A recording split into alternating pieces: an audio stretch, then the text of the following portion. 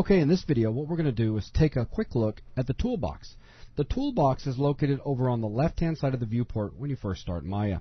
It's divided into two key areas. The top area provides us with tools that allow us to interact with objects along the lines of selecting and manipulating the object. Sure. The bottom portion is a series of buttons that provide convenient quick ways of changing our panel layout. Okay. Okay, so let's go ahead and start with the top section.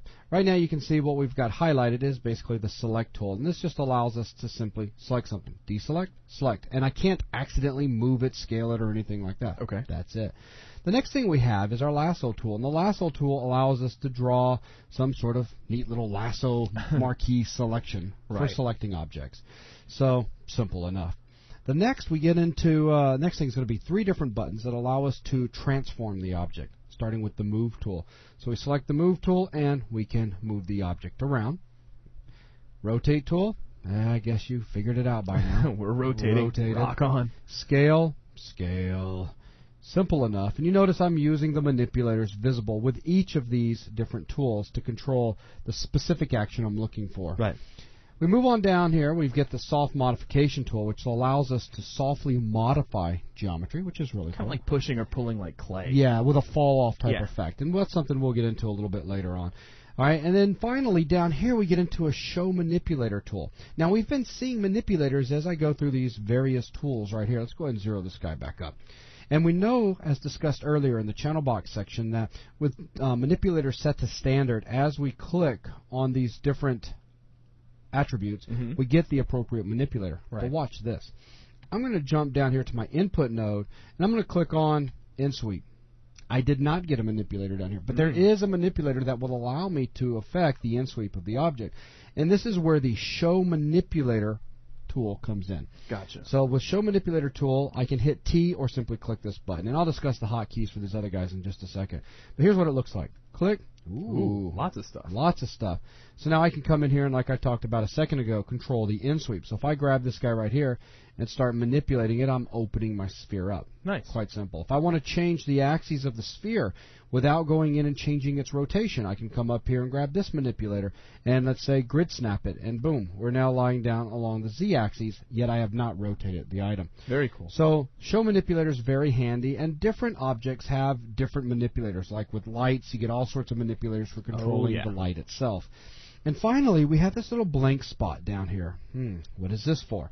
Well, this is where we're going to get a button that's going to represent the last tool that we used. For example, let's see, pick on a tool. I got it. Joint tool. Click the joint tool. The moment I activate the tool, look what happened down here. The tool is currently active, so we've got a border around it. At the same time, we can simply create an object or create a series of joints, Sure. hit enter, and look at this. Now, right now, we've, we jumped back to our show manipulator tool, which was the last thing that we were using. So I can come over here, let's say move, and we move it around or whatever.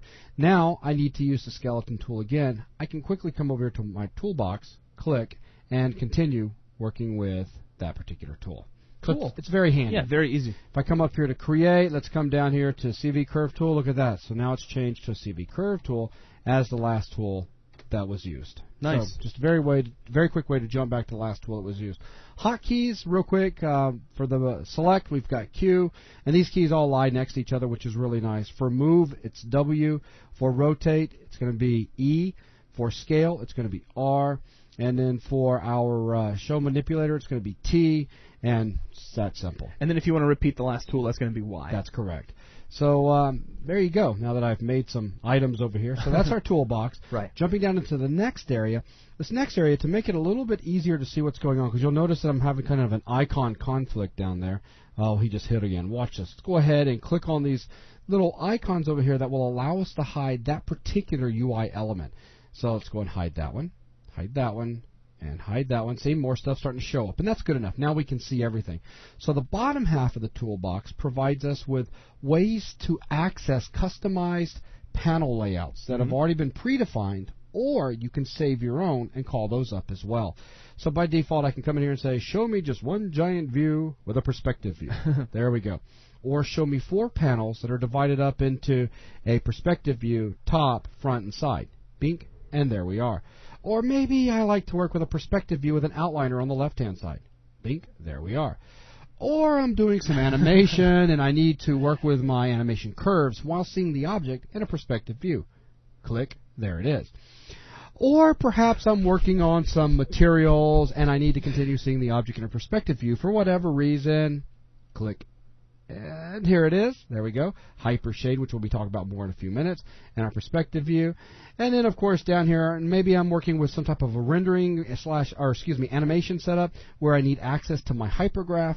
So I can click on this, which can give me a perspective view, my hypergraph, and my graph editor down here all at the same time. Very cool. Here's the key thing. Yeah. Notice as I have been selecting between all of these different presets that this little boxed area right here the buttons have been changing to indicate the number of panels that are currently active. Oh, I see. Watch this. So we've got three buttons right now with the top split. If I come all the way up here to the top and click, dink, look at this. Just one, One- big fat button. One big fat button. So here's four, four little buttons.